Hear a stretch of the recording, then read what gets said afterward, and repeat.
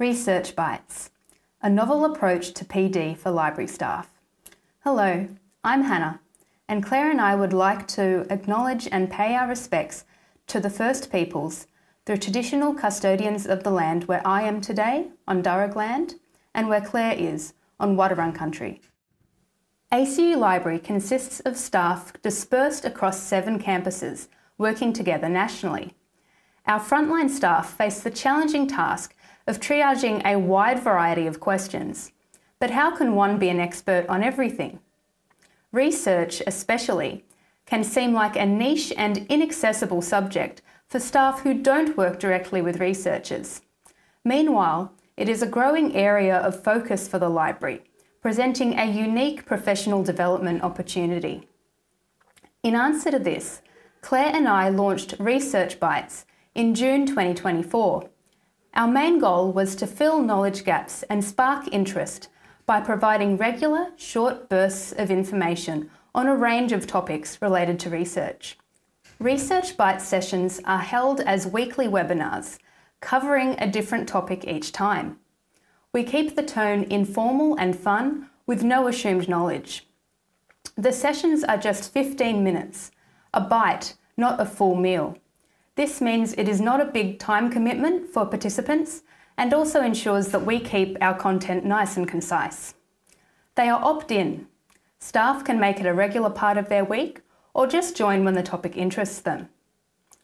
Sessions fall into one of three categories. In a nutshell, which are straightforward explainers on key topics, for example, what are predatory publishers? News Roundup, where we discuss current news and issues, often using a recent media article as stimulus. And Let's Play, interactive sessions where we get participants to play with a tool, such as metrics databases or AI tools.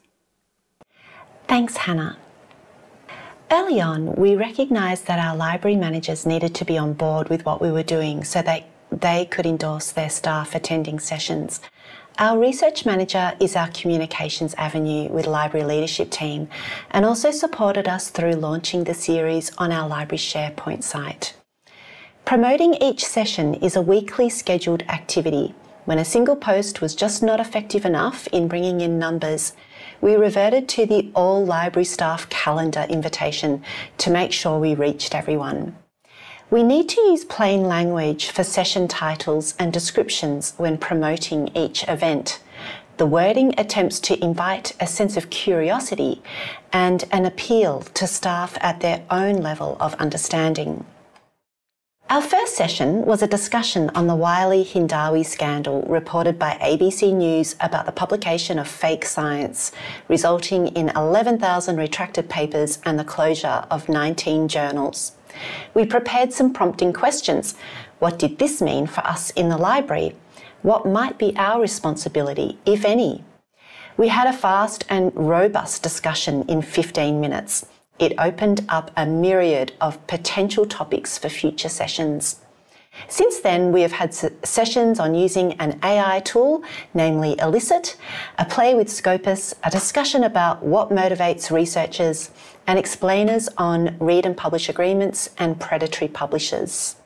To evaluate the impact of Research Bites, we conduct a quick poll at the end of each session and we'll evaluate in more depth later with an end of year survey.